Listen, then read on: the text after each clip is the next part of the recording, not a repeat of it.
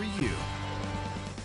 Welcome to KOIN 6 News at noon. I'm Ken Boddie. And I'm Jenny Hansson. New at noon, transit police say there is no threat to the public after officers responded to calls about a man carrying a rifle on a MAX train near Northeast 82nd Avenue.